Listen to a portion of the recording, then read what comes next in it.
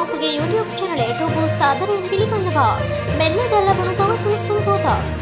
දිගුකාලීන පදනම යටතේ ඉන්ධන ආනයනය කිරීම, මිලදී ගැනීම බෙදා ගැනීම සහ විකිණීමේ කටයුතු තෝරාගත් විදේශීය සමාගම් වෙත පැවරීමට පසුගියදා ගෙන තිබූ කැබිනට් තීරණය බල රහිත කිරීමේ නියෝගයක් නිකුත් කරන ලෙස ඉල්ලා ශ්‍රී ලංකා පොදුජන ප්‍රගතිශීලී සේවක සංගමය ඇතුළු පිරිසක් ශ්‍රේෂ්ඨාධිකරණයට මූලික අයිතිවාසිකම් පෙත්සමක් ඉදිරිපත් කර තිබෙනවා.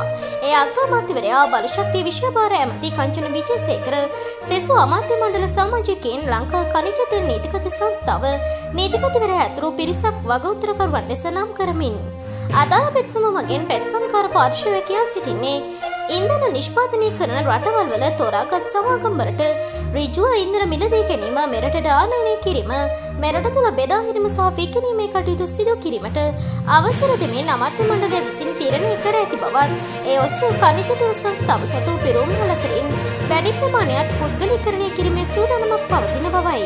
ඒ අනුව එයට අතිශය ලාභ ලබන පිරුමල් රැසක් ඇතුළත් වන බව පෙත්සම්කර පාර්ශවය කියා සිටිනවා. මෙවැනි උණුසුම් පුවත් ලදසනින් නැග ගැනීමට අපගේ YouTube චැනලය සබස්ක්‍රයිබ් කර බෙල් අයිකන ක්‍රියාත්මක කරන්න.